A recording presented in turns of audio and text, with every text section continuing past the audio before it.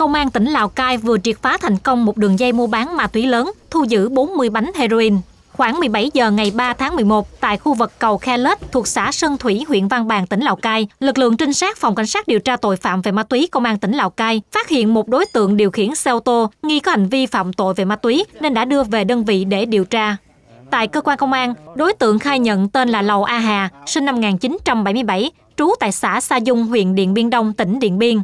Kiểm tra phương tiện, cơ quan chức năng phát hiện trong vỏ xe dự phòng treo dưới gầm xe có chứa 40 bánh heroin cùng một số tang vật khác. Số ma túy trên được Lầu A Hà vận chuyển thuê cho một đối tượng khác từ Điện Biên sang Lào Cai với số tiền 150 triệu đồng. Khi đang trên đường vận chuyển thì bị bắt giữ. Hiện vụ việc đang được tiếp tục điều tra làm rõ.